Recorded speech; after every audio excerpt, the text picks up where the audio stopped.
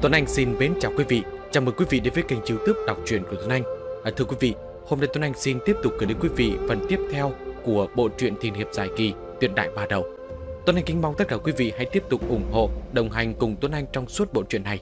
Quý vị đừng quên là bấm like video, đăng ký kênh youtube, bấm vào chuông để không bỏ lỡ những video mới nhất trên kênh. Quý vị cũng đừng quên là khung giờ phát sóng truyện quen thuộc của kênh vào lúc 11 giờ và 19 giờ hàng ngày. Và ngay sau đây, Tuấn Anh xin kính mời tất cả quý vị cùng tiếp tục nghe chuyện.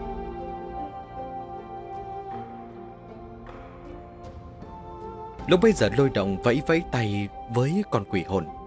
Trên thực tế, chủ nhân sai kiến quỷ bọc dưới trướng không cần ngôn ngữ hay động tác gì. Chỉ cần tâm niệm sai kiến, nó tự nhiên có thể hiểu được. Dù là khiến nó đi chịu chết, cũng sẽ không nhằn nửa điểm lông mày. Sau khi hiểu được ý tứ của lôi động, con linh quỷ kia lập tức bay đến bên người của lôi động, đứng im không nhúc nhích. Lôi động hài lòng nhẹ gật đầu, quyết định chắc chắn cắt một đường trên cánh tay của mình. Từng giọt máu tươi thẩm thấu mà ra. Theo sự chỉ huy của hắn, linh quỷ lập tức nhào tới, hóa thành một đoàn bọc lại ngón tay của lôi động. Máu tươi đồng dạng hóa thành sương mù cùng dung hòa với linh quỷ. Toàn bộ quá trình diễn ra suốt nửa ngày. Thời gian dần qua, sắc mặt lôi động bắt đầu tái nhợt. Đến cuối cùng không có một tia huyết sắc. Đó là biểu hiện do mất máu quá nhiều. Nhưng mà khí tức của linh quỷ lại trở nên vô cùng cường thịnh, toàn thân đỏ chói. Cái này chính là huyết tế, cũng chỉ có linh quỷ trải qua huyết tế mới có thể gọi là quỷ bộc, trở nên vô cùng lợi hại. Ngay lúc lôi động cảm thấy quá sức, sợ đà sắp ngất đi, con quỷ bộc kia lúc này mới buông ngón tay ra, bày tới một bên. Cả người đỏ bừng, cò xiết lại. Mà lôi động thì lập tức ngồi xuống xếp bằng, phục dụng một viên tiểu bồi nguyên đan, không thể chờ đợi được mà tu luyện. Trọn vẹn cả đêm, Trần Kỳ Hào phí mất, lúc này mới khôi phục lại được. Nhưng mà sắc mặt vẫn trắng xám như mặt quỷ. Mất máu nhiều quá, không thể nhất thời khôi phục lại được. Cũng may là trước lúc huyết tế, cũng đã biết kết quả này, sớm đã chuẩn bị đầy đủ đồ ăn thức uống, khôi phục lại máu huyết. Sau khi ăn uống no nê, lôi động lúc này mới có lòng dạ thanh thản, đánh giá con quỷ bộc của mình.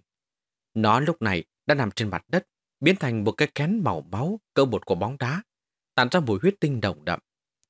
Căn cứ sự ghi chép của ngự quỷ quyết, linh quỷ sau khi huyết tế cần thời gian nhất định để tiêu hóa thành quả. Mà lôi động cũng cần đại lượng thời gian để khôi phục lại chân khí và máu huyết mất đi đợt này. Không riêng gì phải ngồi luyện khí, càng phải tiến hành ăn uống bồi bổ một phen. Chuyện này là chuyện thường xảy ra ở những người âm sát tông. Vạn quỷ quật, tu luyện ngự quỷ quyết, cho nên bọn người hầu đối với những thức ăn bồi bổ, máu huyết rõ ràng như lòng bàn tay. Thời gian cứ thế vội vàng trôi qua, nửa tháng nữa cũng đã trôi qua rồi. Thân thể lôi động cũng đã khôi phục hầu hết. Đáng tiếc, sắc mặt của hắn vẫn còn trắng xám. Bật quá, con quỷ bộc kia cũng đã phá kén mà ra rồi. Nó lúc này hồn thể ngưng kết ánh sáng, mơ hồ lộ ra một cỗ năng lượng cường đại. Đoàn sương mù màu đỏ không ngừng vặn vẹo biến hóa. Thời gian dần qua, mọc ra tay chân và thân thể. Thậm chí trên thân thể nó còn huyễn hóa ra một bộ áo giáp. Đào và lá chắn bằng năng lượng. Thể trạng thì cường tráng, ngược lại cũng có chút ủy phòng lẫm lẫm. Biến hóa như thế làm cho lôi động mừng rỡ trong lòng. Không hổ là linh quỷ.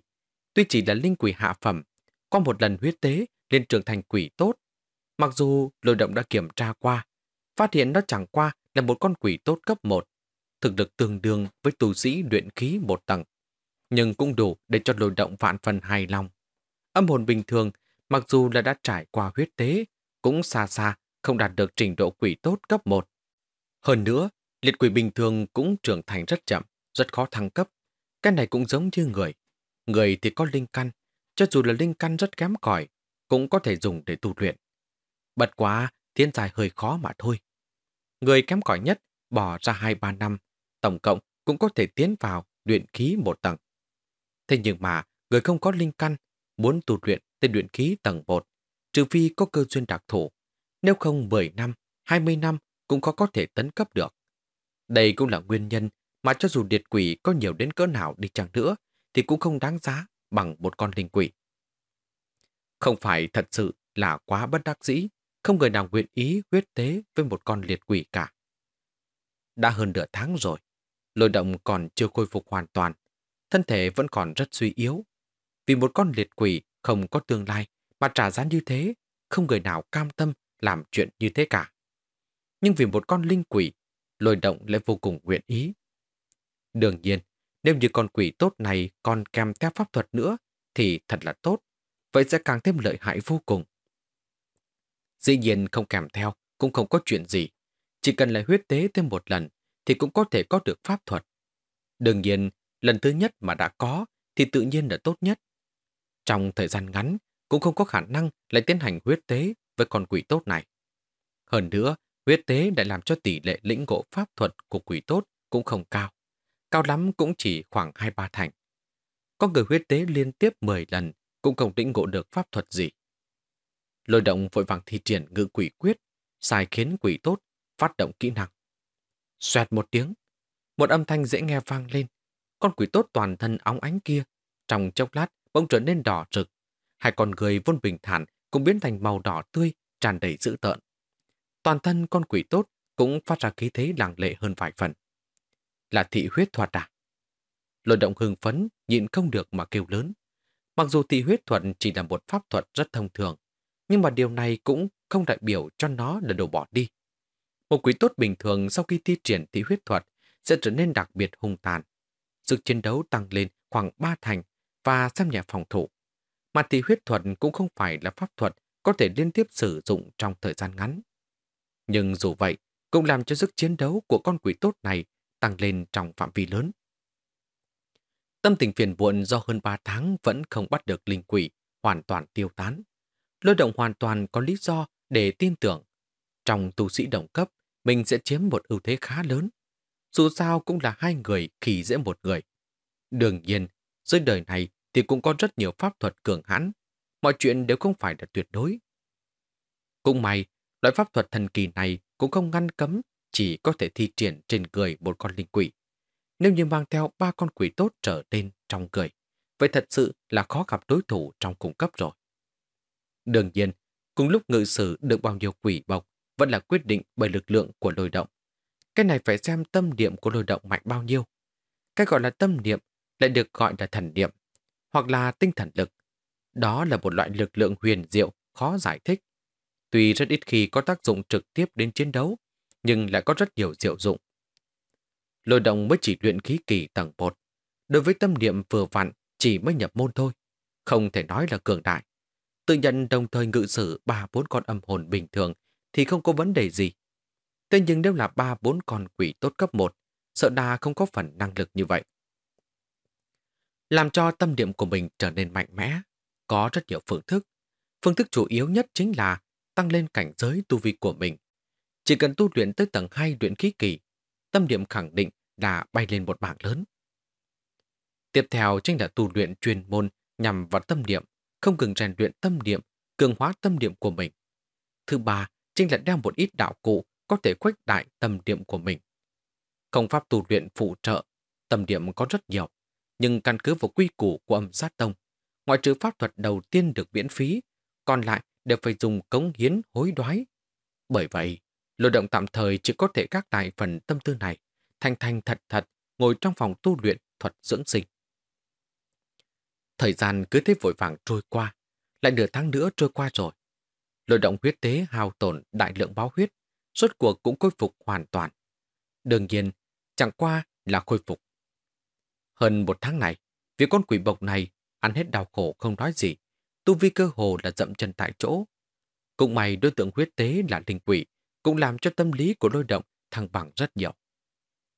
Trong thời gian đó, Trần Mâu và Vệ Hoa cũng đã làm nhiệm vụ trở về. Ba người tề tụ lại một chút. Lôi động cũng nói cho Trần Mâu biết đủ loại độ khó khi tu luyện cự quỷ quyết. Vận khí của hắn thật tốt, hào tốn 3 tháng đã bắt được một con linh quỷ. Độ khó trong đó, Trần Mông nghe được sắc mặt cũng cưng trọng. Nhưng sau đó, khi nghe được linh quỷ trải qua huyết tế trở thành quỷ tốt cấp 1, sức chiến đấu với mặt tương đương với một tu sĩ luyện khí kỳ cấp 1. Tin này làm cho Trần Mâu và vệ hoa lập tức cuồng hỉ. Bật mãn nhỏ nhỏ đối với việc lồi động vắng mặt làm nhiệm vụ lúc trước, cũng tiêu tan thành bầy khói, liền dặn cho hắn nghỉ ngơi cho tốt. Đợi đến khi hắn khôi phục, bọn hắn sẽ giúp tôi động bắt một con linh quỷ nữa. Đương nhiên, bọn hắn nguyện ý giúp đỡ cũng là coi trọng tiềm lực ngự quỷ quyết của lôi động. Nếu như lôi động có thể mang theo hai con quỷ tốt hành động, đi làm nhiệm vụ, mọi người sẽ càng thêm an toàn. Mặc dù nói, nếu như tích góp một chút điểm công hiến, thì bọn hắn cũng có thể đi học tập ngự quỷ quyết. Chẳng qua là, ngự quỷ quyết phiền phức như thế, huyết tế còn trì hoãn quá trình tu luyện, không khỏi tạm thời đều bỏ qua tâm tư này. Tạm thời do một người đồi động đảm đường là tốt rồi, tiết kiệm điểm công hiến, có thể đi học tập các pháp thuật cường đại khác. Bởi vậy, đợi đến khi thân thể của đôi động khôi phục, Trần Mâu liền đem ba người trở thành một tiểu đoàn đội, tiếp nhận nhiệm vụ thích hợp với bọn hắn. Do là nhiệm vụ của tiểu đội, sau khi hoàn thành, mỗi người còn có thể đạt được 10 điểm công hiến. Bởi vậy, nhiệm vụ này cũng có chút khó khăn. Bật quá, mặc dù âm sát tông danh là tả phái, nhưng cũng không phải là loại ăn no rồi đem các đệ tử đẩy vào trong hố lửa để cho bọn họ đi tìm chết. Đâu có phải là như vậy chứ? Dù sao cùng loại với Trần Mâu, lồi động, những đệ tử tu vi tùy thấp nhưng lại gánh chịu trách nhiệm kế truyền thừa tông phái này. Tương lai, trưởng thành trở thành trụ cột cũng không biết chừng. Quá mức tùy tiện hại chết bọn họ, chỉ biết trong lúc vô hình làm suy yếu lực lượng tương lai của tông phái. Âm sát tông lại không phải là người ngu, tư hủy tường thành tương lai cho mấy tông bồn chính phái kia khi dễ. Bởi vậy, các nhiệm vụ nhằm vào các đệ tử mới nhập tông, mặc dù là có khó, có dễ, sẽ không để cho chuyện phát sinh các đệ tử chết non quá lớn.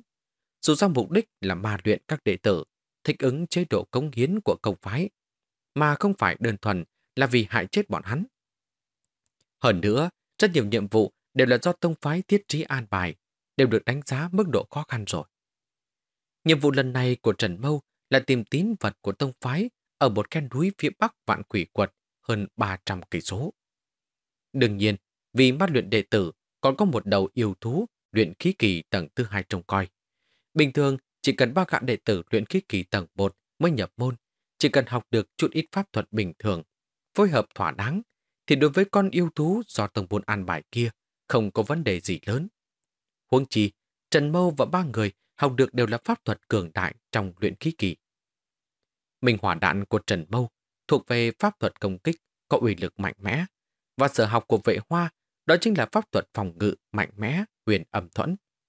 Hai loại pháp thuật này tăng thêm ngự quỷ quyết của lôi động là các chiêu bài pháp thuật của các đệ tử luyện khí kỳ âm sát tông, cũng cơ hồ là pháp thuật tất nhiên phải học. Bật quá tài luyện khí sơ kỳ, bởi vì đủ loại nguyên nhân nên chỉ có thể lựa chọn một ít pháp thuật bình thường. Ba người bọn lôi động mỗi người đều học được một cái, phối hợp lại, đương nhiên uy lực sẽ tăng nhiều. Tìm được một chiếc xe ngựa lớn trong vạn quỷ thành, ba người ngồi xếp bằng ngay ngắn trong xe ngựa, một đường thẳng hướng tới nơi làm nhiệm vụ. Tốc độ của xe ngựa cũng không nhanh, cộng với tình hình giao thông phía trước cũng vô cùng tồi tệ. Có 300 cây số đường đi, tính ra cũng phải hơn 2 ngày. Dĩ nhiên, nếu như là cưỡi ngựa đi, thì đoán chừng một ngày là tới. Bật quá, lần này nganh chiến chính là một đầu yêu thú luyện khí kỳ tầng 2. Vì nghỉ ngơi dưỡng sức, bởi vậy tập thể đều ngồi xe ngựa. Có chút chịu không được, xe ngựa lắc lư cùng tốc độ quá chậm chạp. Vệ hoa từ nhỏ đã ăn ngon mặc đẹp, buồn khổ mà nói. Nếu như chúng ta đều có pháp khí phi hành thì tốt rồi. Chỉ là hơn 300 dặm, chỉ cần hai canh giờ là có thể bay đến. Trần Sư Huynh, vì sao lại ngăn trở đệ mua pháp khí phi hành vậy? Vậy sư đệ, ngươi đừng suy nghĩ lung tung nữa. Không phải là chúng ta không khỏi qua giá cả. Pháp khí phi hành kém nhất cũng cần đến 5 sau miếng linh thạch. Hơi tôn một chút, động cái là trên 10, trên trăm. Chúng ta cũng không có nhiều linh thạch lắm.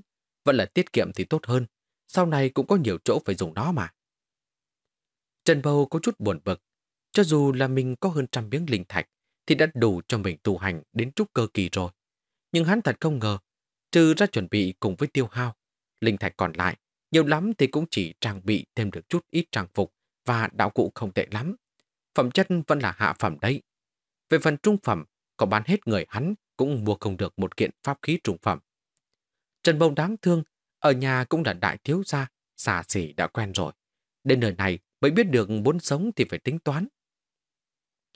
Lôi động nghe được giá cả của cái kia cũng liếu cả lưỡi. Động cái là trên 10, trên trăm linh thạch. Coi như là phi hành pháp khí có khó kiếm hơn một chút.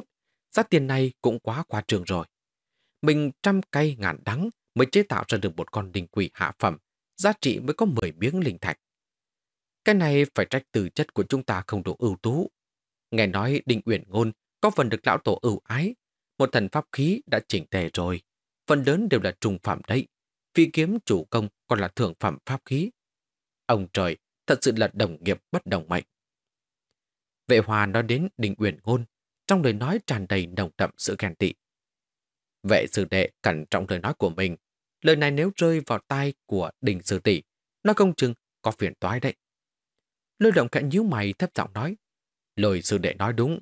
Nghe nói đình sư tỷ mấy ngày trước đã tấn cấp luyện khí kỳ tầng 3 rồi. Không phải là người chúng ta có thể trêu chọc. Trần Mâu cũng nghiêm túc về bình vệ hoa. Loại tồn tại nghịch thiên như Đinh Uyển Ngôn, tận lực không dây vào là tốt nhất. Còn kém 3 tháng nữa là nhập môn một năm rồi. Đinh uyển Ngôn này liền tấn chức luyện khí kỳ tầng 3. Tin tức này thật ra khiến ba người trầm mặc một hồi. Ba người ngày nay, Trần Mâu và Vệ Hoa đều là luyện khí một tầng trung kỳ, mà lôi động bởi vì mấy tháng này đều một bực bể bộn chuyện tu luyện ngự quỷ quyết, tu vi vẫn còn cách tầng trung kỳ một khoảng. Cùng bước từ một chỗ, từ chân hai bên khác biệt liền được thể hiện ra rõ ràng. Đinh Nguyễn Côn kia thật đúng là một bước lên trời. Trần Sư Huynh, vệ sư đệ, ta có một đề nghị. Lôi động trầm tư một lát rồi nói. Hai người các ngươi lên núi đều là mang theo chút ít linh thạch. Thay vì tiết kiệm như hiện giờ, không bằng đem thạch đổi thành chút ít bồi nguyên đan hoặc là đan dược đột phá bình cảnh, cố gắng bê quan tăng lên cảnh giới. Có thể thăng lên bao nhiêu thì thăng lên bấy nhiêu. Nếu như gặp bình cảnh hoặc là không có linh thạch thì chúng ta lại chậm rãi làm nhiệm vụ tích góp điểm công hiến.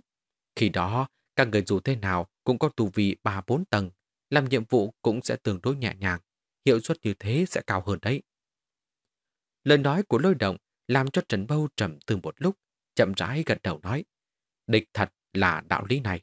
Vệ hoa, một người chúng ta đưa cho lôi sử đệ 20 khối linh thạch, không được mua đồ gì khác, chỉ đổi đàn thuốc, đoán chừng tu luyện tới tầng thứ tư, vấn đề không lớn.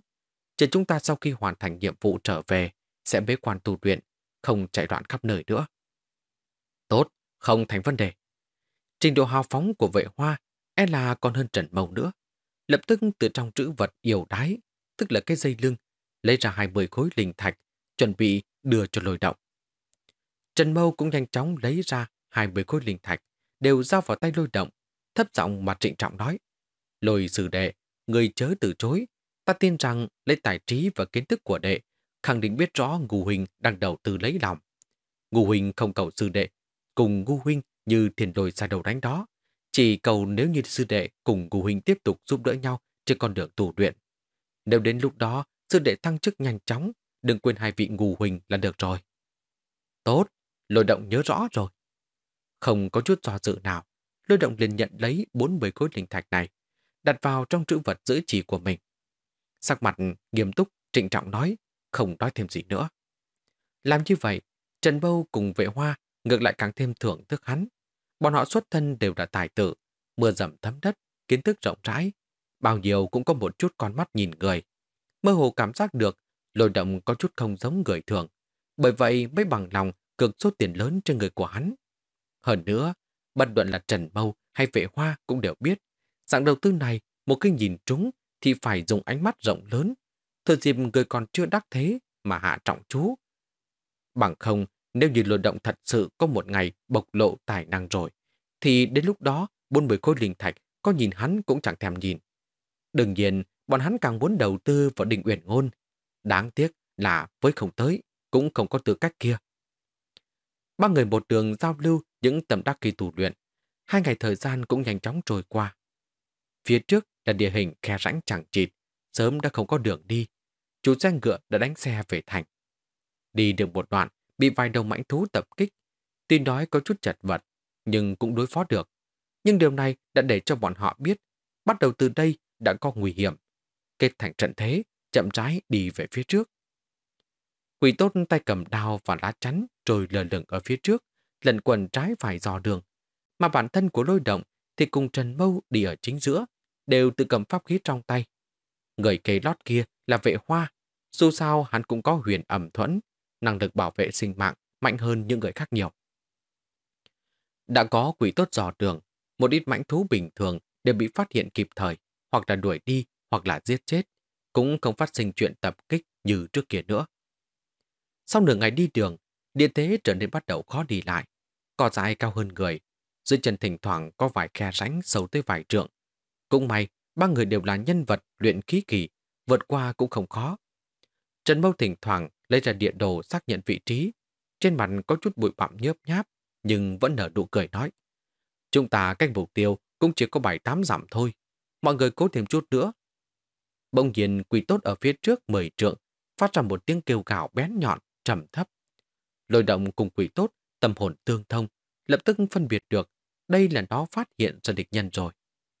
Khác với mấy loại mạnh thú gặp được lúc trước, tiếng kêu gào lần này vừa nhanh vừa trầm. Hiện nhiên nó phát hiện ra địch nhân, ít nhân cũng sẽ không yếu hơn so với nó. Cẩn thận, là có cường địch đấy. Lôi động vừa dứt lời, trong đống cỏ đất cỏ dài phía trước, bỗng có một con cự xà thù nhám to như thùng nước thoát ra. Cái đuôi của nó cuốn lại, trên thân liền vút lên không ba bốn trượng. Trăng nhọn to như bắp tay chìa ra, tạp thẳng tới chỗ quỷ tốt đang lơ lửng trên không. Nhưng mà thực lực bản thân của quỷ tốt cũng đã tương đương với luyện khí kỳ tầng bột rồi. Thêm với thiên phú biết bay, vô hình và linh động, đối với cự xà tập kích sớm đã có chuẩn bị. Quay người một đao chém thẳng vào đầu cự xà. Cự xà một kích, không kích trúng, đầu con dừng lại ở trên không đã bị trúng một đao. Đáng tiếc, đao của quỷ tốt cũng không phải là thực thể, mà là do năng lượng hồn phách ngừng tụ lại. Nếu như nó đặt đến chỗ cao thâm, uy lực tự nhiên là không nhỏ. Nhưng lúc này lại chỉ có thể phá được một lớp da, còn được vài miếng lân giáp của nó mà thôi. Khá lắm, đây là yêu thú đấy. Trần Mâu run giọng than một câu, nhưng cũng không có sợ hãi. Từ biểu hiện và uy áp của cự xà thì gần như chỉ mạnh hơn một bậc so với mọi người mà thôi. Hắn là một yêu xà luyện khí tầng 2. Nếu một trọi một thì rất khó giành phần thắng. Chẳng qua là bên này chính là bốn đấu một, chiếm cứ ưu thế khá lớn. Vệ hòa đi về phía trước trợ giúp quỷ tốt cuốn lấy yêu giả. Lôi động cùng ra ở một chỗ cùng giết nó. Trần Mâu vừa dứt lời, vệ hoa liền đột nhiên xông về phía trước. Cùng lúc đó, tiểu kiếm màu xanh sẫm cũng chém thẳng về phía cổ cự xà. Không đợi Trần Mâu phân phó, lôi động cũng đã chuẩn bị xong tiểu kiếm màu xanh sẫm, sườn tay lên. Tiểu kiếm liền bắn đi, mà Trần Mâu sau khi bước lên trước vài bước, mới bắt đầu nói đùm bẩm, thi triển minh hỏa đạn. Tiểu kiếm của lôi động và vệ hoa bắn hoàn toàn không vô ích. Trong sự điều khiển của bọn hắn, tuy không tính là quá linh hoạt, nhưng ở giữa không trung không ngừng bắn ra, bắn lại. Cự ra sao ngờ tới mấy chiều này. Dưới sự khinh thường ăn điền hài kiếm. Đáng tiếc chính là loại tiểu kiếm màu xanh dẫm này vì để cho các đệ tử điều khiển được thành thục nên uy lực rất kém cỏi. Đối phó mãnh thú bình thường coi như cũng được, nhưng đối mặt với cự xà luyện khí tầng 2 lại lộ ra không có chút sức nào, chỉ có thể cắt được lớp da ngoài của nó. Nhưng dù như vậy, cự ra dưới sự đau đớn, hai con người cũng tản mát ra hào quang lập lòe hùng tàn. Cái đuôi bắn ra, liền liều chết xông thẳng tới chỗ vệ hoa. Có thể nói là nó quên quỷ tốt cũng không phải ngồi không. Chỉ nghe hít khả một tiếng, thân thể của nó biến thành bầu đỏ như máu, hùng dữ châm một đao về phía cổ của con rắn kia. Quỷ tôn dưới sự tăng trưởng ba thành lực sát thương đã không còn kém hơn luyện khí kỳ tầng hai bao nhiêu, chém thẳng vào da thịt của con rắn vải tấc. Cự gia bị đau mà rít lên, bất châm vệ hoa, ngược lại bắt đầu cắn tới quỷ tốt. Minh hỏa đạn của Trần Bầu sớm đã thuần thục hơn rất nhiều. Hai ba cái hô hấp đã chuẩn bị thỏa đáng. Minh hỏa đạn lớn chừng quả đấm, mang theo cái đuôi u lục, rất nhanh là đánh trúng vào cự xà. Bản thân của cự xà lại trống lên một tiếng nữa. Uy lực của mình hỏa đạn làm sao mà tiểu kiếm và quỷ tốt có thể so được, làm cho người của nó nổ tung thành một cái động lớn. Minh hỏa bắn tung tóe ra, nhiễm lên trên phải của nó, tiếp tục thiểu đốt. Yêu thú thật đáng thương. Đến lúc này mới biết được đã đá trúng thiết bản, đau đớn lăn lộn trên đất, muốn phủi tắt lửa cháy trên người. Nhưng minh hỏa này là thứ chuyên nhằm vào linh hồn bà cháy. Dù có nhảy vào trong nước cũng khó mà tiêu diệt. Sao có thể lăn qua lăn lại vài vòng là có thể dập tắt được? Lôi đồng và ba người há lại có thể để nó tiêu dao tự tại. Nguyên một đám ngự sử tiểu kiếm hùng hằng công giết cự xà. Một kiếm lại một kiếm, sục thế mà đi. Quỷ tốt mở ra trạng thái khát máu, cũng không kẻ yếu. Bắt được cơ hội liền chém được một đao, đào đào đã thấy sườn rồi. Dây dưa một phen, cự xà biết không hay, liền bắt đầu tìm cơ hội chạy trốn.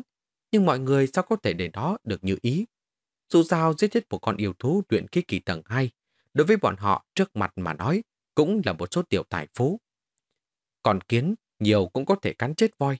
Huống chi, ba người cộng thêm một quỷ tốt đều chỉ kém một bậc so với cự xà mà thôi. Mới đuổi giết được hai dặm, cự xà liền nằm cỏ quắp trên mặt đất. Trên người đầy vết thương đao kiếm, nhất là cây động do minh hỏa đạn tạo thành là vết thương chí mạng nhất. Minh hỏa kịch liệt thiểu đốt. Theo cự xà tử vong, thời gian dần trôi qua cũng bắt đầu tiêu tán, tắt đi. Kể cả lôi động ở trong đó, ba người đều là hưng phấn không thôi. Đây chính là lần đầu tiên diệt yêu thú trong đời. Đó còn là một yêu thú luyện khí kỳ tầng 2. Chẳng qua là không biết cự xà này có phải là con yêu thú trong nhiệm vụ hay không.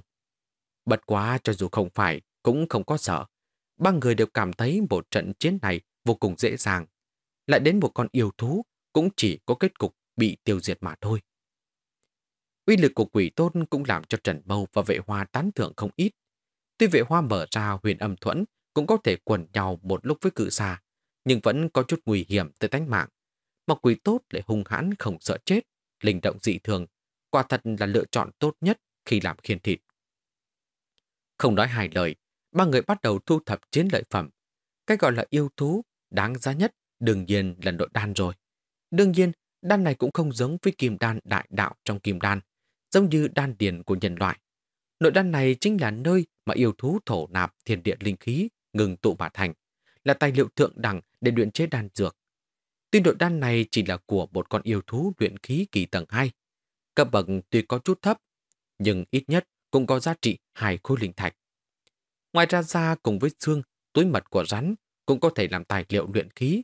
Có điều chỉ không đáng giá mà thôi. Thủ thủ thập thập, tổng giá trị có lẽ cũng trên dưới bà khối linh thạch. Mọi người chuẩn bị đem những vật này bán đi, sau đó sẽ chia đều. Tuy nói mỗi người nhiều nhất chỉ được một khối linh thạch, nhưng đối với tù sĩ ở đẳng cấp như họ, một khối linh thạch cũng đã rất đáng giá rồi. Trần Mâu và vệ hoa tuy đều mang theo chút đồ từ trong nhà, nhưng cũng không dám tiêu xài hoang phí. Về phần thịt rắn và máu rắn, trừ ra số thịt rắn đủ để làm đồ ăn cho mọi người, còn lại tất cả đều cho quỷ tốt hưởng dụng. Khác với nhân loại có công pháp tù luyện nên tiến bộ cực nhanh, những con âm hồn như quỷ tốt này muốn tấn chức ngoại trừ bị động dựa vào dưỡng hồn tháp tầm bộ, còn phải được không ngừng hấp thụ huyết thực mới được. Huyết nhục của một con yêu thú luyện khí tầng 2, đối với nó mà nói là một vật đại bộ. Rất nhanh, con cự xà kia sau khi được mọi người phân cách đã biến mất vô tùng vô ảnh. Quỷ tốt sau khi thôn phệ huyết thực, tinh thần vốn uể oải do thi triển thị huyết thuật không những hoàn toàn biến mất, mà thân thể trong suốt còn gương kết thêm vài phần, uy phong hơn một chút. Mọi người nghỉ ngơi và hồi phục, đếm qua một chậu thịt rắn đầy mỹ vị.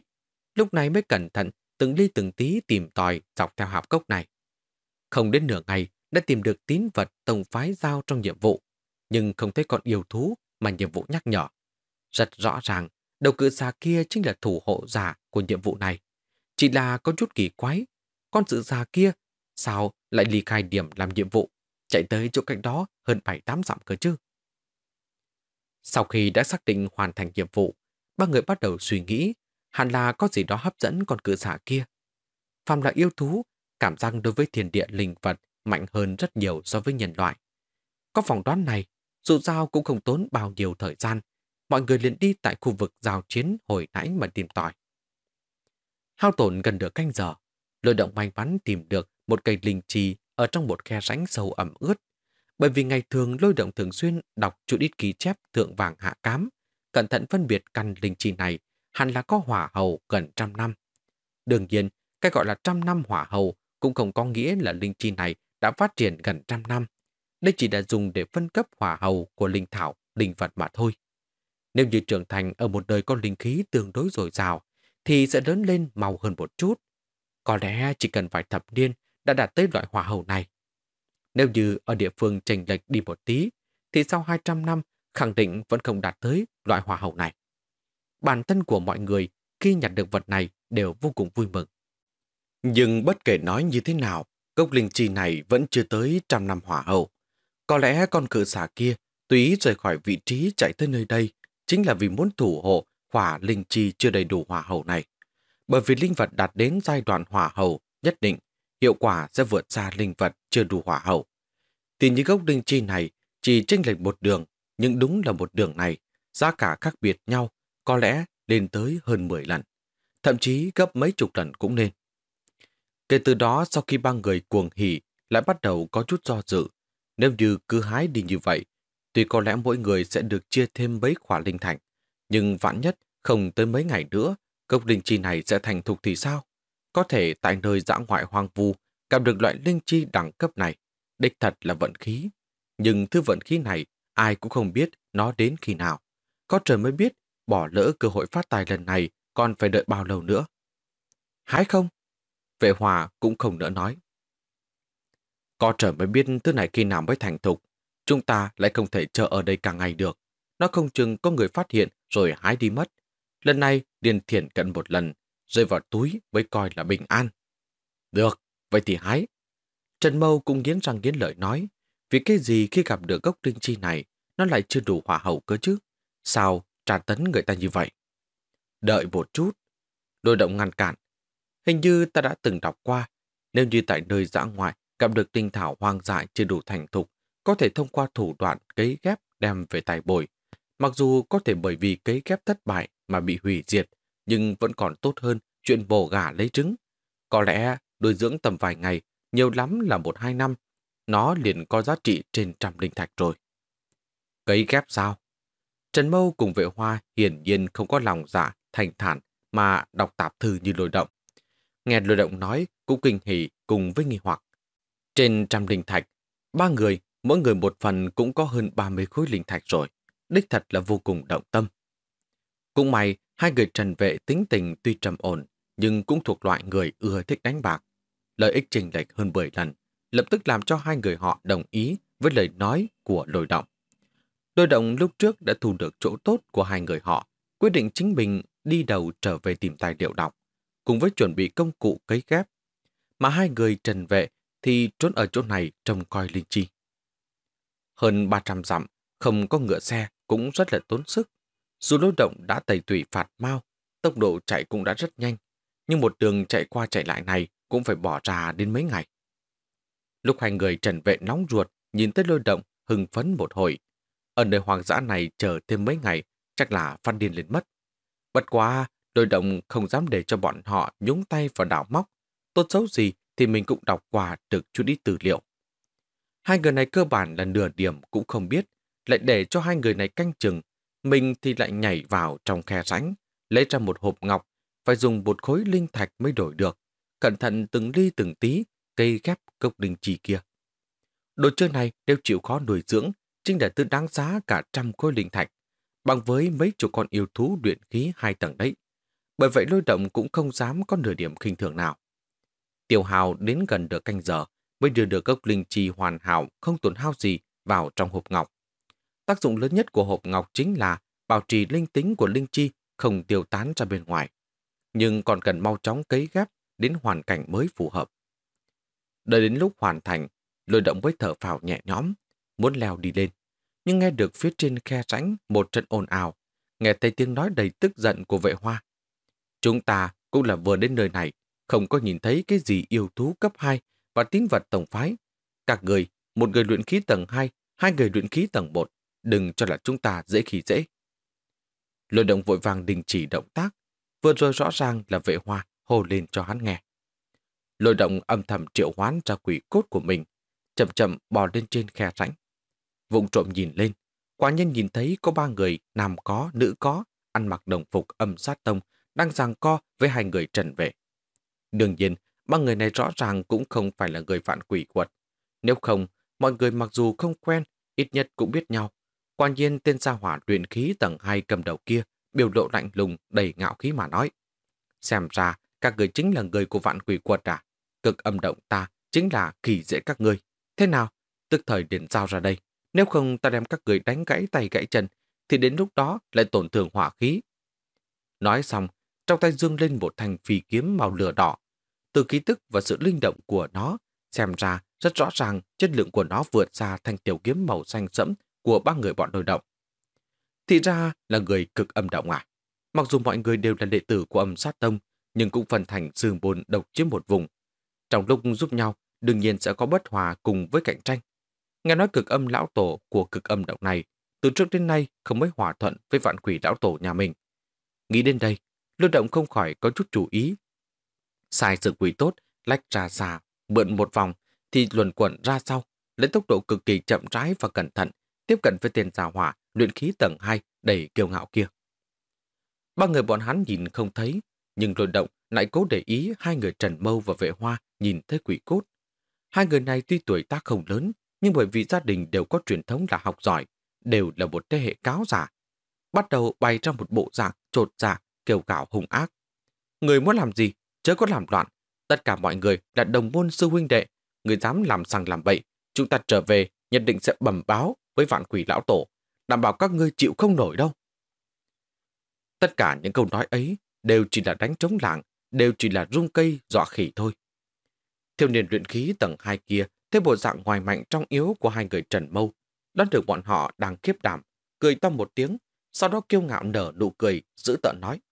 Tu trần giới chính là thế giới mạnh được yếu thua, người không có bổn sự, cũng đừng trách người khác kỳ dễ người. Cáo trạng, người chết người rồi. Đừng nói các người không phải là đệ tử hạch tâm của vạn quỷ quật. Coi như là vậy đi, vạn quỷ lão tổ cũng không giúp được các người đâu. Người nói vậy, lão tổ chúng ta thần thông cái thế, vũ nội vô địch. Người dám động thủ, lão nhận ra ông ta nhất định sẽ giúp chúng ta báo thù. Vệ hòa cũng gạo thét lên. lời động ngược lại cũng có chút ít kỳ quái. Chỉ để hai người này thu hút lực chú ý của đối phương một chút mà thôi. Gào thét tân bốc, vỗ mông vạn quỷ đảo tổ làm chi không biết. Bật quá, nghi hoặc thì nghi hoặc, nhưng vẫn ngự sử lấy quỷ tốt, phiêu hốt tiếp cận tên gia hỏa luyện khí tầng hai kia. Coi như hết, vạn quỷ quật các ngươi từ trước tới nay đều xếp hạng dưới cực âm động của chúng ta. Ta thế nhưng là đệ tử hạch tâm của cực âm động. Giết mấy người các người cũng chỉ như giết con sầu cái kiến mà thôi. Lão già hỏa vạn quỷ kia, hay lại vì mấy người đệ tử bình thường như các ngươi đi tìm lão tổ nhà ta lý luận. Cho dù là lý luận, ta cũng không có sợ đâu. cường cầm lão tổ nhà ta cũng không sợ phản quỷ lão tổ nhà ngươi. Tên kia càng nói càng đắc ý, trong miệng bắt đầu lẩm bẩm, nhẹ rằng cười không ngừng. Xem ra các ngươi đúng là chấp mê bất ngộ rồi.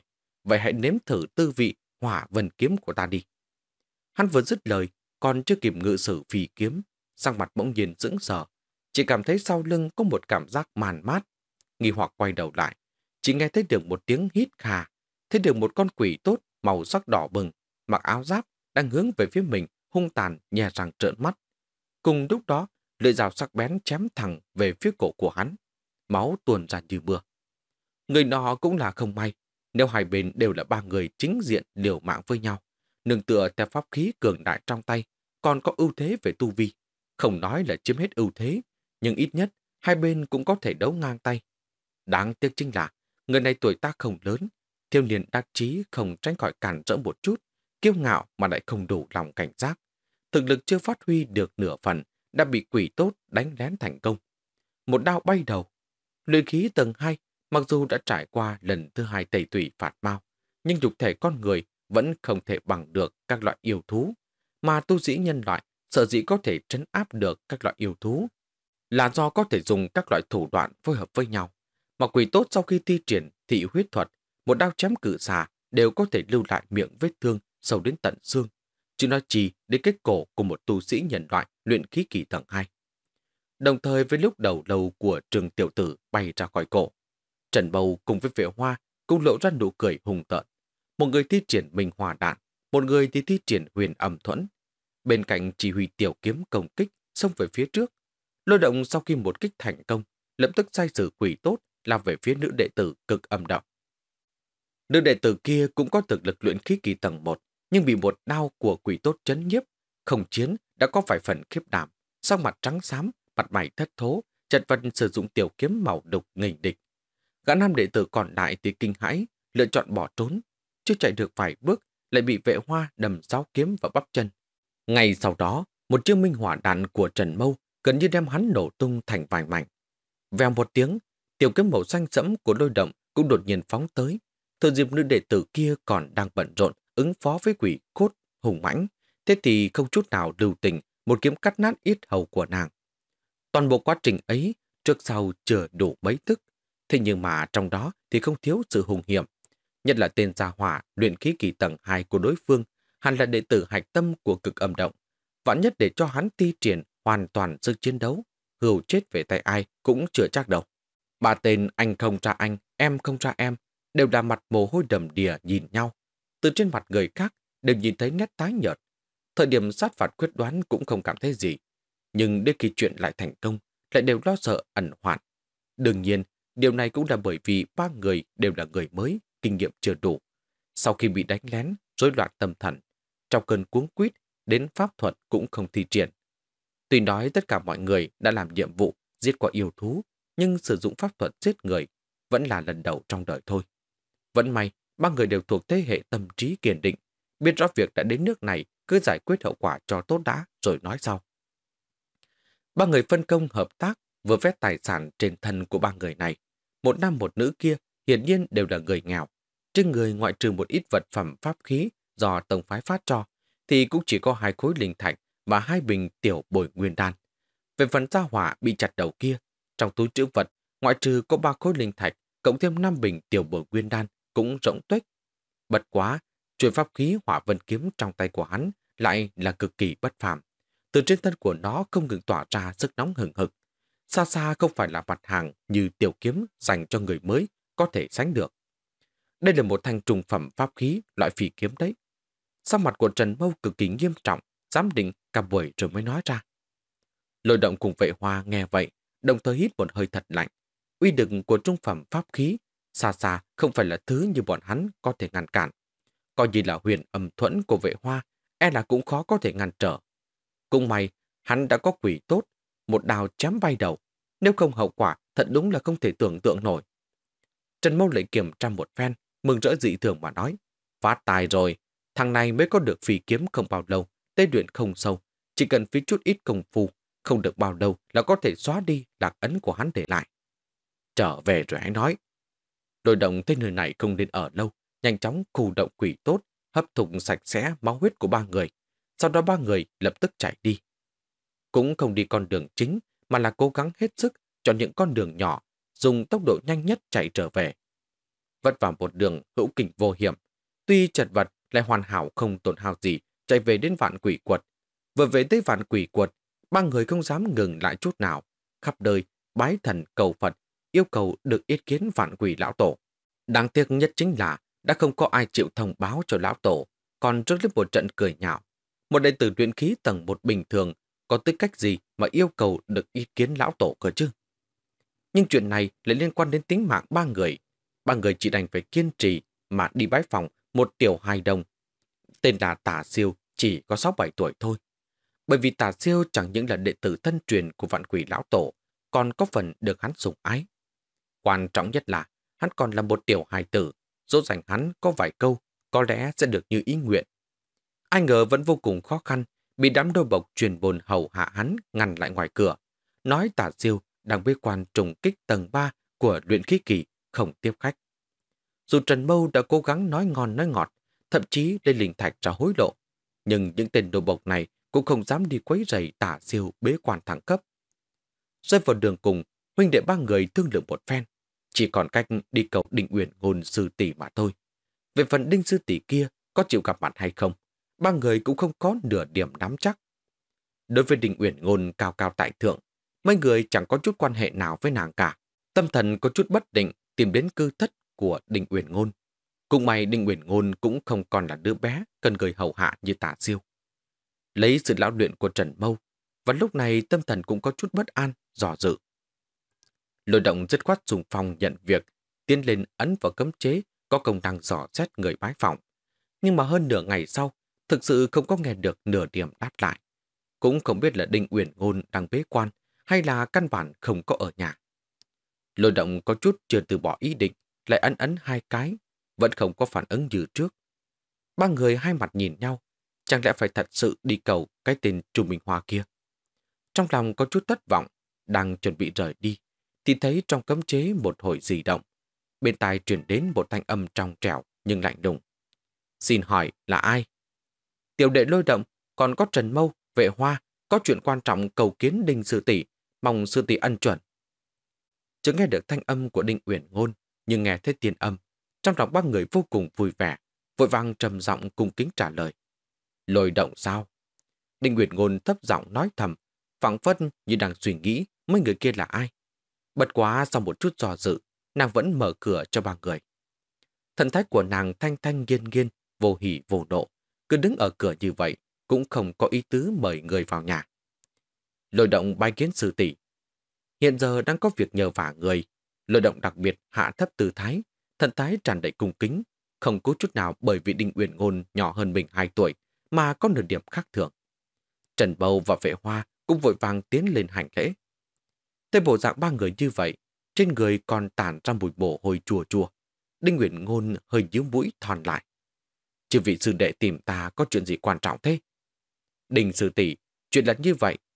Lôi động lên tiếng nói, đem toàn bộ sự tình, tiền căn hậu quả nói ra. Ngay cả chuyện cấy ghép linh chi cũng không chút nào giấu giếm. Theo lời nói êm tai của lôi động, còn chưa nói tới đoạn lôi động ra tay giết người.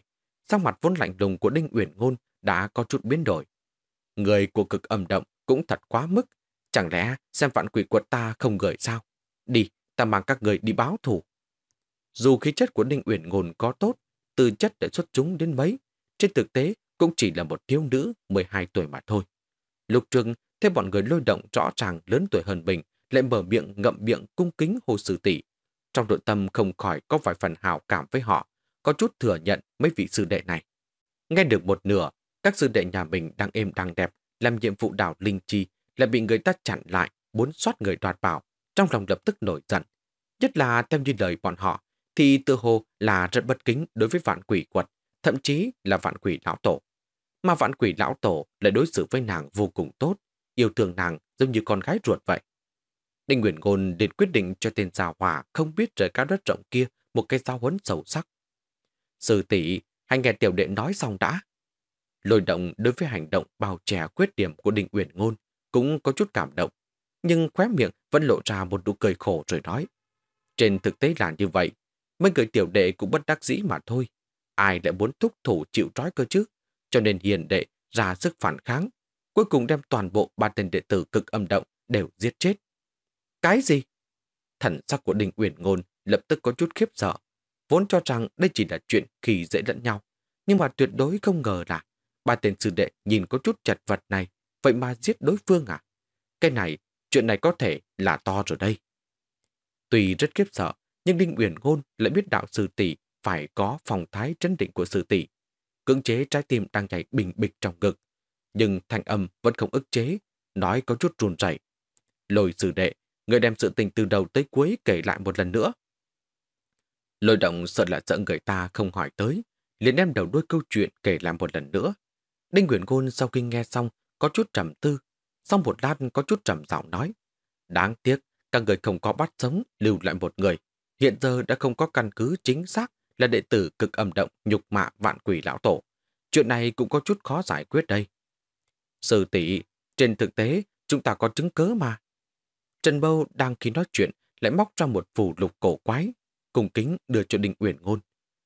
Trong họa âm phù này có ghi chép nguyên vẹn cuộc nói chuyện ngày hôm đó. Trên đường đi trở về, đội động đã biết rõ chuyện này rồi. Trần Bâu cũng là người tâm tư kín đáo, biết rõ hành tàu bên ngoài khó tránh khỏi sẽ cùng người xung đột. Sớm đã hao tổn linh thạch một mấy miếng hỏa âm phù này. Mục đích của hắn chính là đề phòng ngày hôm nay. Cũng khó trách, trước lúc hai bên đại chiến, Trần Mâu và vệ hoa cố ý dùng ngôn ngữ dụ đối phương kinh bỉ vạn quỷ quật, kinh thường vạn quỷ lão tổ. Đinh Nguyễn Côn có chút kinh ngạc, tiếp nhận hỏa âm phù dưới sự chỉ điểm của Trần Mâu. Nghe xong cuộc nói chuyện, quả nhiên không khác gì so với lời nói của lôi động. Thậm chí khẩu khí của người nọ còn ác liệt hơn so với lời kể. Tuy nói dùng trí tuệ của nàng, bao nhiêu cũng nghe ra được đây là Trần Mâu có chút châm ngòi. Thế nhưng đệ tử cực âm động, đích xác là quá mức kiêu ngạo và bá đạo. Trên tay đã có chứng cớ, Đinh Nguyễn Ngôn cũng kiên định thêm vài phần, trực tiếp mang theo bọn hắn đi tới chỗ sâu nhất của vạn quỷ quật, tìm tới bên ngoài động phủ của vạn quỷ lão tổ. Để cho bọn họ chờ ở bên ngoài, Đinh Nguyễn Ngôn một mình đi vào yết kiến. Sau một hồi khá lâu, mới có một gã điền kỳ khá lớn, tu vi cao thầm đến gọi bọn họ đi vào. Kể cả lôi động trong đó, ba người đớm nớp lo sợ đi theo lão già vào động phủ.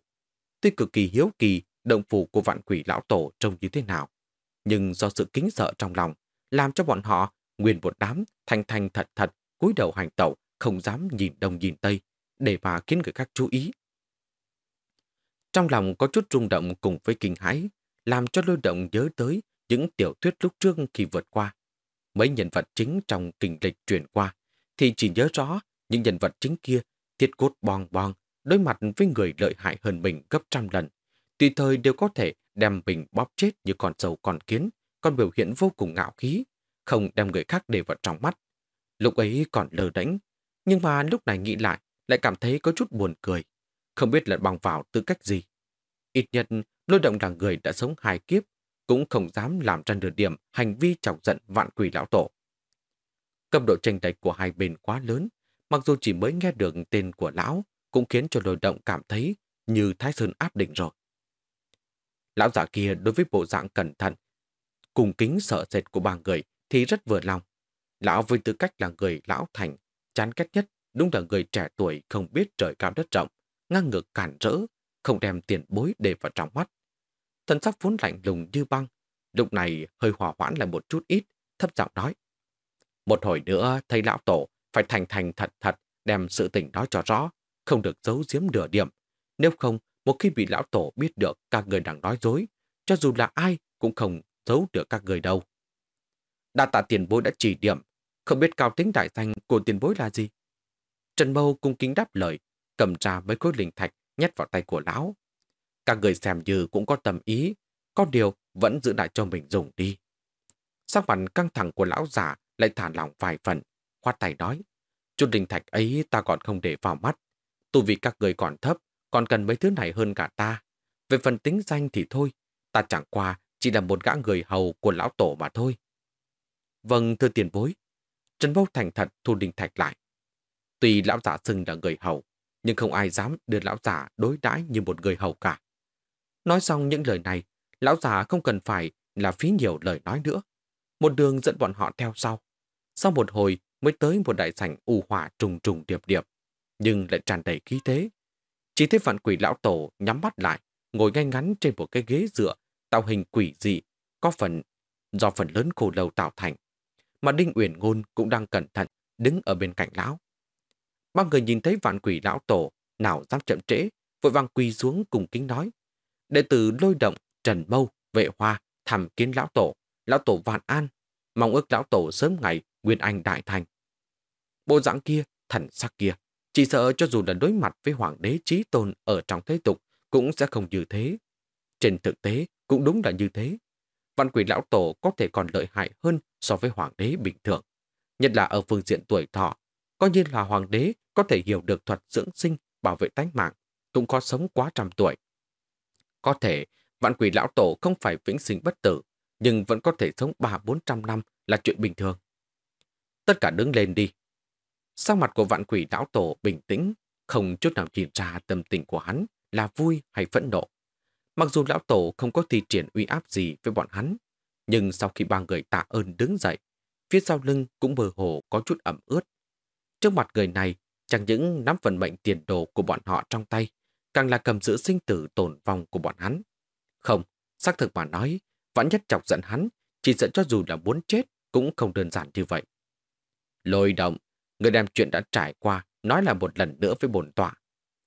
Vạn quỷ lão tổ bỗng mở to mắt, nhìn chăm chú vào lôi động. Lôi động lập tức như bị sát đánh, bị ép tới không thở nổi. Nhưng mà lúc này, hắn vẫn cứng rắn cắn răng lên tiếng, bắt đầu đem tiền căn hậu quả sự tình nói ra. Một câu tiêu diệt cũng không dám. Ngay cả chuyện sau khi giết người đoạt được bao nhiêu vật phẩm, sử dụng quỷ tốt cắn nuốt huyết nhục của bọn họ cũng không dám giấu giếm. Vạn quỷ lão tổ chẳng qua là lặng lặng lắng nghe, nhưng đôi mắt thủy Trung vẫn dừng lại trên người lôi động. Đợi đến khi lôi động nói xong, hắn mới thu ánh mắt lại, phảng phất như sự tình gì cũng chưa xảy ra. mà lôi động thì mồ hôi chảy đầm đìa. Nếu không phải ý chí của hắn, coi như cũng cứng rắn, nó không chừng hai chân sớm đã mềm nhũn ngã lăn rớt rồi. Trần Mâu, vạn quỷ lão tổ lại hồ tên của hắn. Thành âm có chút lạnh lùng nói. Hòa âm phù này là người đã sớm chuẩn bị tốt sao? Chẳng lẽ là người đã sớm biết sẽ có người đối phó với ngươi? Đã sớm tính toán tốt rồi. Sau khi xảy ra chuyện phiền toái, châm ngòi người khác dùng ngôn ngữ bất kính, sau đó dùng hỏa âm phù này như bằng chứng khóc lóc kể lệ. Đệ tử không dám ạ. Trần Bầu cũng bị hù cho sợ, sắc mặt trắng như tờ giấy. Lúc vừa định phủ nhận lại nghĩ tới lời nói của lão giả vừa nãy, đành phải cắn răng đồng ý. Bẩm báo lão tổ, đúng như vậy, đệ tử nhập môn không bao lâu thì đã biết đệ tử giữa các động các phủ của âm sát tông chúng ta thỉnh thoảng sẽ xảy ra xung đột, nhất là vào thời điểm chấp hành nhiệm vụ ở đời dã ngoại, khó tránh khỏi việc xung đột với người khác. Đệ tử cũng là vì dùng phòng ngừa vạn nhất mới chuẩn bị mấy miếng hỏa âm phù này. Ngoài ra, trong lời nói của các đệ tử xác thật là kiêu dụ bọn hắn, nhưng mà tên đệ tử luyện khí tầng 2 kia của cực âm động xác thực rất kiêu ngạo, vốn cũng không đem lão tổ để vào trong mắt, kinh xin lão tổ mình dám. Thanh âm của Trần Mâu cũng là càng nói càng rung động, bởi vì thấy được sinh tử của mình, ngay tại lúc này cũng không nắm trong tay của mình. Là chết hay là sống, tất cả đều phụ thuộc vào một ý niệm của lão tổ. Vệ hòa ở một bên chưa bị hỏi điều gì, cũng đã trùn như cậy giấy. Biết rõ cho dù giờ phút này hắn không nói lời nào, thì vận mệnh của ba người cũng đã bị cột chặt vào một chỗ. Vạn quỷ lão tổ trầm ngâm, làm cho ba người cảm thấy một giây trôi qua như là một năm vậy. Mỗi một giây trôi qua lại làm cho tâm tình ba người càng thêm khẩn trương. Sau một hồi khá lâu, trên khuôn mặt vốn nghiêm nghị của vạn quỷ lão tổ, khó có được hiện lên vẻ tươi cười mà khen. Tốt, tốt lắm. Bồn tọa nghe nói ba người các ngươi tu thành luyện khí tầng 1 đều đứng đầu trong danh sách. Từ chất không tính là thật tốt, nhưng cũng tạm được rồi. Không kỳ tới, ba người các ngươi chẳng những có dũng, còn có mưu. Dưới sự cưỡng bức của bổn tọa, cũng có thể miễn cưỡng cầm giữ được. Không có ăn nói bậy bạ, nói chuyện coi như đâu vào đấy. Quỷ đô, con mắt nhìn người của người cũng rất có nghề đấy. Giúp bổn tọa bình luận một chút, ba tên tiểu tử này có thể sao? Nghe được lời khen ngợi của vạn quỷ lão tổ, tâm tình dâng lên cổ họng của bọn họ, cuối cùng cũng được thả xuống. Sâu trong nội tâm, không thể ức chế được cuồng hỉ. Bọn họ nghe ra được, lão tổ chẳng những không có phản cảm đối với chuyện này, ngược lại còn có chút thưởng thức cách làm của bọn hắn. Như vậy, không phải đã quá tốt rồi sao? Chủ nhân, mấy tên tiểu tử không biết trời cao đất dày của cực âm động, quả nhiên là tội đáng chết vạn lần. Nếu như rơi vào tay lão nô, thì sẽ rút ra hồn phách của bọn họ, chế thành hồn đăng, dùng minh hỏa thiêu đốt 10 năm, 8 năm mới bằng lòng dừng lại. Sau mặt của lão giả kia cũng có chút vui mừng nói. Bật quá, mấy tên tiểu tử này của vạn quỷ quật ta làm cũng không tệ. Hữu dũng hữu mưu, làm việc còn lòng dạ độc ác gọn gàng, xem như là lương tài Mỹ Ngọc có có được đấy. Bỗng nhiên, Trần Bâu có chút nhúc nhích, tại chỗ quỷ lại. Từ trong trữ vật yêu đái, móc ra chuôi hỏa phần kiếm trùng phẩm, cùng kính nói. Khởi bẩm lão tổ, chuôi hỏa phần kiếm này chính là do đệ tử thu được từ trên người tên hỗn trướng cực âm động, mong lão tổ nhận lấy. Nói xong, thằng này lại chớp chớp mắt với đổi động. Lôi động cũng lập tức hiểu ý, đồng dạng nhanh chóng móc ra hộp ngọc chưa linh chi. Sắc mặt có chút kích động mà thanh khẩn nói. Lão tổ, đây chính là linh chi còn kém một chút hỏa hầu nữa liền thành trăm năm do ba người đệ tử tìm được. Không dám hy vọng xa vời gì khác. Chỉ cầu có thể làm cho lão tổ cần thêm con đường tu thành nguyên anh, dùng để biểu đạt hiếu tâm của ba người đệ tử. Đương nhiên, mấy thứ vụn vặt khác không thể lấy ra được. Nếu không, cái kia không gọi là hiếu tâm mà gọi là vũ nhục. Ba người cũng đều hiểu rõ. Tuy linh chi và hỏa vân kiếm này đều là bảo bối trong mắt của mình. Có điều trong mắt vạn quỷ lão tổ, cường giả tu vị bậc này đoán chừng cũng chẳng khác gì cỏ dại ven đường cả. Sợ dĩ lấy hai vật quý này ra hiến, thứ nhất là vì trong sự này có thể đề cập qua hai thứ đó, lão tổ cần hay không cần là một chuyện, nhưng có hiếu tâm hay không, đây là chuyện khác. Thứ hai, cho dù lão tổ tự có thù hai thứ này đi chăng nữa, dùng thân phận và địa vị của hắn, hai người lại là tiểu bối dưới trướng của hắn, còn làm một chuyện để cho hắn rất thoải mái. Làm sao có thể không để ý tới bọn họ được chứ? Một cọng lông được tùy tiện nhổ ra từ trên người lão tổ còn to hơn so với bắp đùi của bọn hắn. Đoán chừng tâm tình vạn quỷ lão tổ hôm nay rất khoản khoái và dễ chịu. Dù sao mấy người họ cũng tiêu diệt được đệ tử thân truyền của cực âm lão quỷ là đối thủ của lão, làm gọn gàng, phải là điều nghiêng về bên phía mình. Cũng không phải do tâm tình hắn thật tốt, nhất là với tên tiểu tử kia còn rất hiểu chuyện. Bất kể là thật tình hay giả ý, ít nhân còn biết có thứ tốt thì hiếu kính với lão tổ. Tay có chút dương lên, thanh hỏa vân kiếm và hộp ngọc đình trì kia liền chậm rãi bay tới trên tay vạn quỷ lão tổ. Chỉ thấy hắn vuốt ve trên thần kiếm một chút, liền khen. Kiếm này cũng không tệ lắm, trùng phẩm pháp khí cửa đấy. Nói xong, hắn điền lăng không thu vào, lại bờ hộp ngọc linh chi ra nhìn, có chút gật đầu nói. Công linh trì này còn tranh lệch mấy tháng hỏa hầu, khó được chính là trong quá trình kế ghép không xảy ra sai lầm gì. Đủ thấy các người rất cẩn thận. Sau khi dừng lại một lát, vạn quỷ lão tổ cũng thu hộp ngọc lại. Hai thứ bảo vật này bồn tọa đều nhận. Sự tính nơi đây bồn tọa sẽ xử trí công bình. Ba người các ngươi cứ yên tâm ở lại vạn quỷ quật này tu luyện, đi xuống đi. Thế vạn quỷ lão tổ thật đúng là thu lễ vật lại, lại không có nửa điểm có ý tưởng thưởng. Ba người cũng có một cỗ cảm giác trộm gà bất thành, còn mất một nắm tóc. Bất quá giờ các này, ai cũng không dám lộ ra chút thần sắc bất mãn nào. Ngược lại, cả đám đều lộ ra sự vui mừng khổn xiết, cảm tạ. Không dám ở lại lâu, bái biệt lão tổ, lại được lão tổ cho phép quỷ nô dẫn ba người kia đi ra ngoài. Từ đầu tới đuôi, quỷ nô cũng không nói thêm gì nữa với bọn họ. Ra khỏi động phủ của lão tổ, ba người đồng loạt đi tới căn phòng của Trần Mâu, mới hoàn toàn thả lòng người. Chuyện phát sinh đến bây giờ, tuy biểu hiện của ba người đều vô cùng trấn định, nhưng mà đủ loại hùng hiểm trong đó cũng chỉ có ba người mới có thể lấy thần lĩnh ngộ. Nguyên một đám tình bì lực, tẫn ngã, ngồi ở trên mặt đất. Thế nhưng trong thần sắc đều là có chút may mắn, lại có chút ảo não hơn. Nhất là vạn quỷ đáo tổ, sau khi tu đồ đạc của bọn hắn, vậy mà không có nửa điểm tỏ chút thái độ nào, trực tiếp phất tay bảo bọn họ rời đi. Sau khi nghỉ ngơi một lúc, ba người cùng nhau đi nộp cái nhiệm vụ đoàn đội mà suýt nữa thì bỏ mạng. Điểm công hiến của đôi động cũng từ không biến thành 10, mà ghi chép điểm công hiến cũng là cực kỳ thần kỳ. Dĩ nhiên là đánh thẳng vào yêu bội. Chỉ cần là trong âm sát tông, cầm yêu bội này đi tới nơi nào đều có thể hối đoái được thứ đồ vật mình muốn. Trần Bâu cũng đem mấy đồ vật thượng vàng hạ cám đều bán cho triệu bách vạn, cuối cùng thu hoạch được 8 khối linh thạch, cộng thêm 10 bình tiểu bồi nguyên đan, vừa khớp để ba người chia đều. Lôi động được hai khối linh thạch, cộng thêm 10 bình đàn dược. Bởi vì là mua được một hộp ngọc phải bỏ ra một khối linh thạch, tài sản lúc này của lôi động vừa vặn là 42 khối. Lôi động còn thuận tiện đi đường mà nhìn một chút pháp thuật bí tịch, chọn gần đường ngay, cuối cùng theo kiến nghị chọn lấy một quyển bí tịch tên là Đoán Thần Quyết. Đoán Thần Quyết cũng không phải là bí tịch cao sâu gì, nhưng dễ hiểu, thích hợp với tu sĩ luyện khí kỳ tu luyện tâm niệm thần thức, cũng coi như là pháp quyết nhập môn, đại chúng của tu sĩ tu luyện tâm niệm thần thức. Nhưng dù vậy, khối ngọc giản kỳ đại đoán thần quyết này cũng phải dùng 30 điểm cống hiến mới có thể đổi được.